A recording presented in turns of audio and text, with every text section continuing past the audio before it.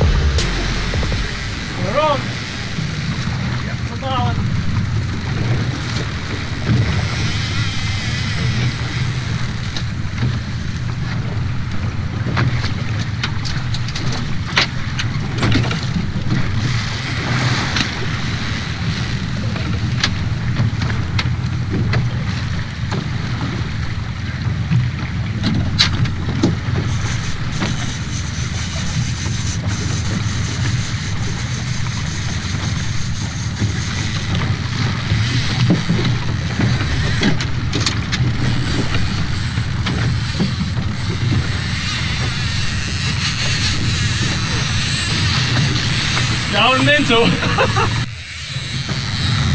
Chase this fish down now.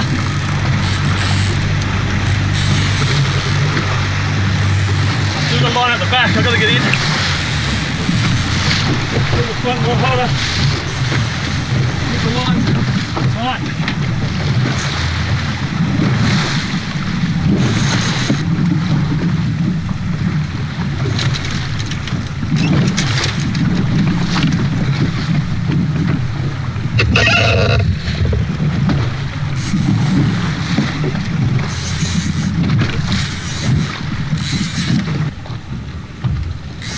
So that fish came off and ate the shortest lure. That lure was only 10 metres back from the boat. And he's come in really close to pick that up.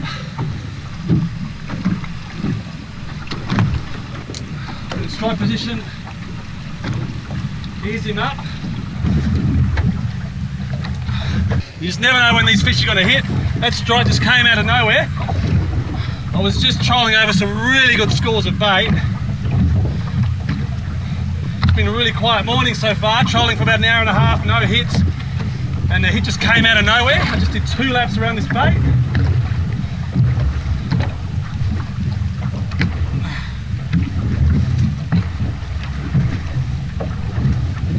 Okay, it's going to be my first solo marlin.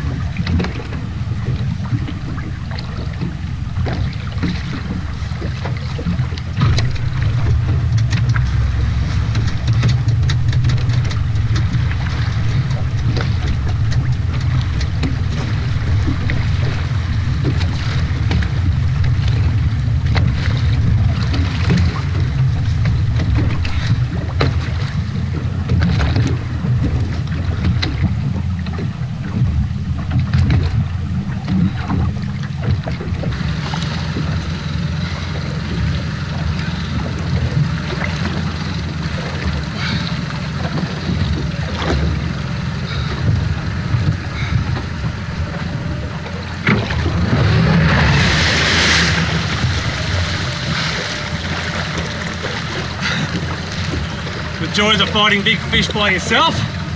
Oh, it's going down deep. Keep away from that prop.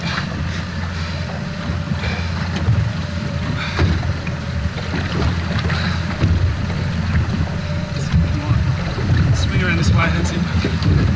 Just a line on you now.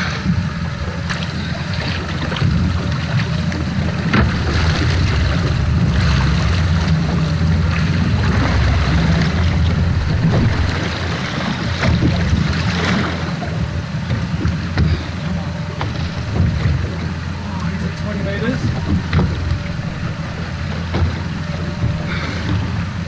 What a chaotic hookup then.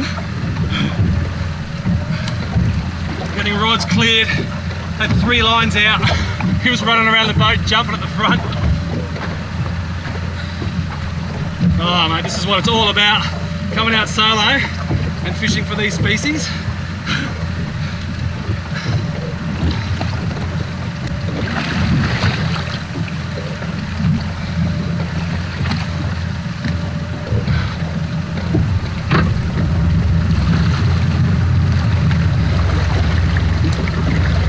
Here it comes.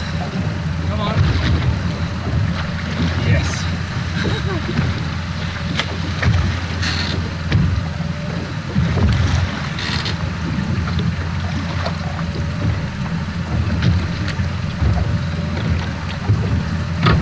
I'm putting gear.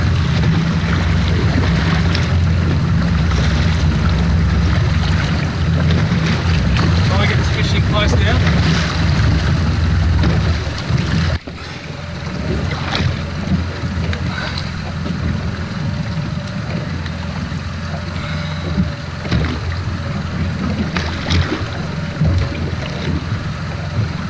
Oh, he's not ready yet.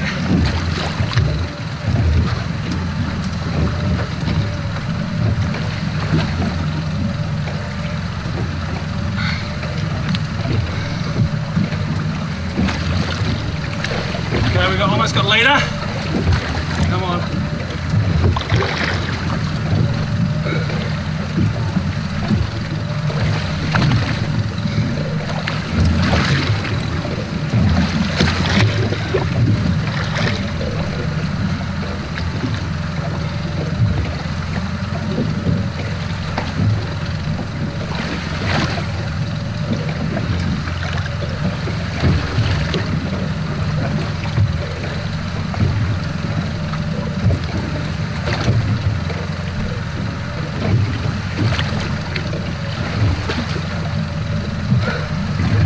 Come on, buddy. Up you come.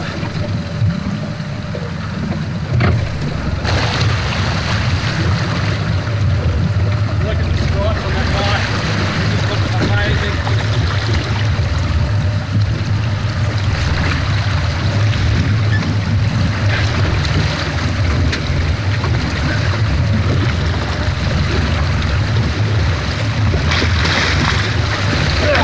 Yes!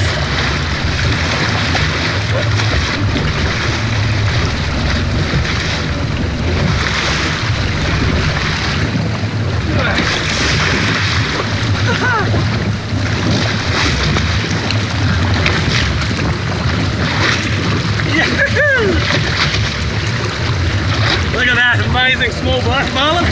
Around 30 to 40 kilos. That is an awesome solo catch.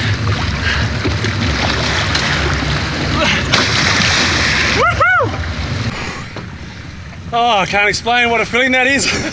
that was unreal. Oh, to land my first marlin solo by myself, released properly, unharmed. Mate, there's just no words for that. That was incredible. I'm fishing on the full moon. Didn't really expect much action. I was almost about to give up, and I just tried around those bait scores a couple more times, and uh, finally got one. Man, that's a great feeling to just hook that fish and get it to the boat by myself. Unreal. So things have gone a little bit quiet trolling around after that last fish and I saw a boat over here hook up using the live bait method. So what I'm going to do here is uh, put a, a live yakker out that I've just jigged up on a circle hook. Got to pin him up through the head so he stays on really easily. And I'm going to throw him out And then I've got a sinker here on a rubber band. So the idea is if the fish hooks up, then the rubber band will snap and that'll allow the fish to fly freely.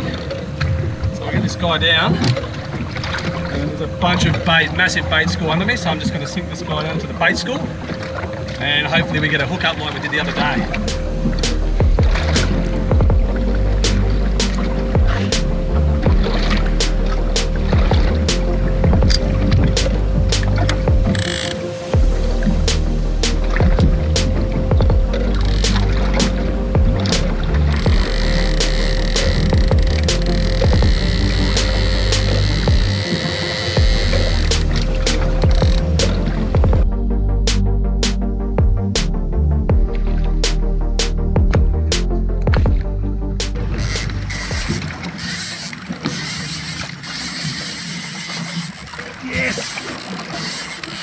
Oh yeah, good hookup. Here we go again, on the living.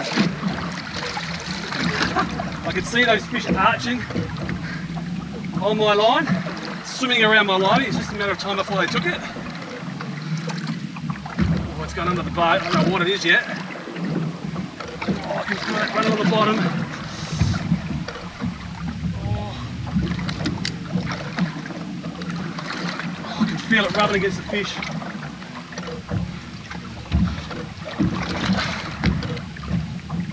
What is that caught on?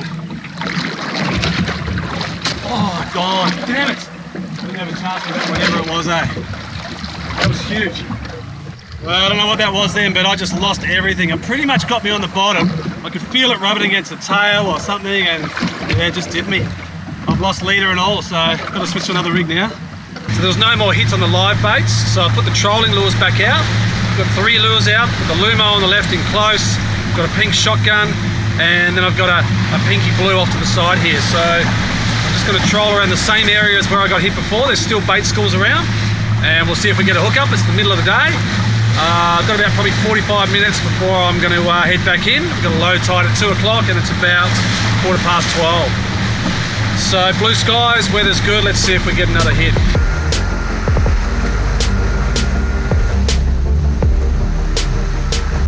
And we are on straight away.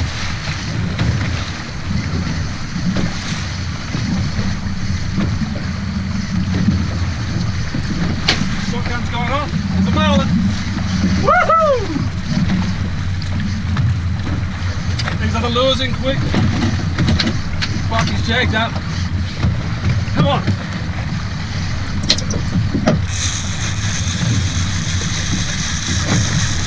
He's jumping at the back there.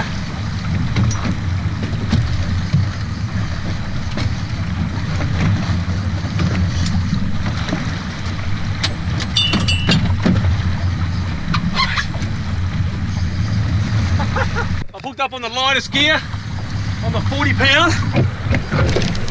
He's going now to the back there. I'm going to have to back up on him.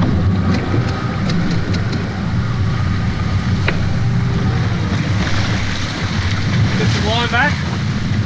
Always away. Fish takes the lightest line.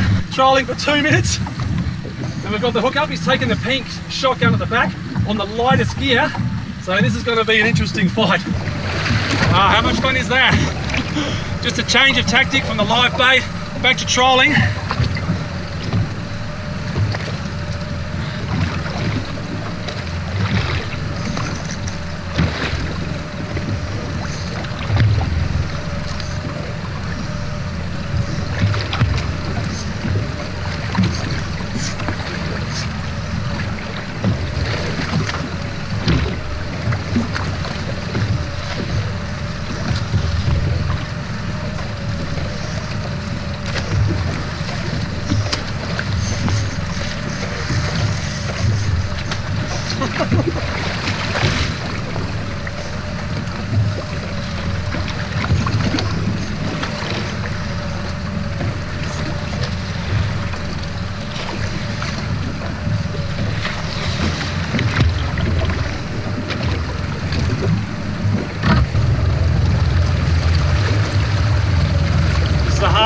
getting the fish close to the boat here and then getting that hook out.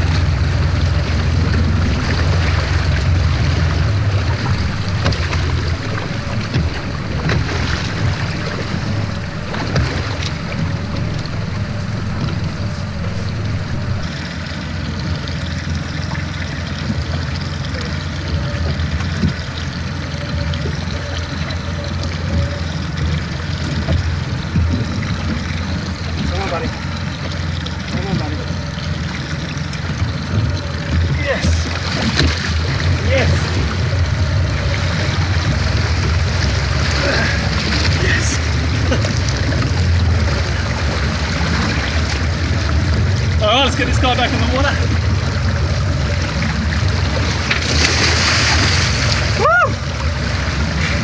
Well, turned out to be quite an amazing session. You know, I've never caught a marlin solo before, so to get two of them in one session was uh, pretty exciting stuff. I did not expect that second one to take that trolling lure after only a minute or two of being in the water. So the two lures that work today, the green Lumo with the two hook rig, which as I said before, my mate Mitchy hooked up yesterday for me. And uh, the, the second lure that got taken was the shotgun at the back. Uh, the Lumo lure was only about oh, six, seven, eight meters behind the boat on the left-hand side. And the pink lure was about probably 30 to 35 meters behind the boat. And um, that's the two lures that did the damage. Great session. Uh, it's turned out to be an amazing day. Like It's like a different day than what it was five hours ago this morning. Raining, cloudy, shitty seas and uh, now it's beautiful. So I've got about an hour and a half until the low tide. We're on a full moon, so it's going to be pretty shallow. So I'm going to head back in and um, yeah, edit some footage and uh, put it up online for you guys to see. Hope you enjoy it. See you next time.